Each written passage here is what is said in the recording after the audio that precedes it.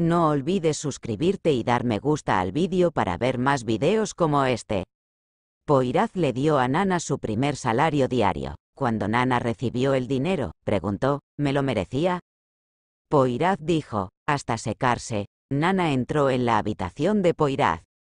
En ese momento, Poiraz entró en la habitación y Nana se escondió detrás de la cortina.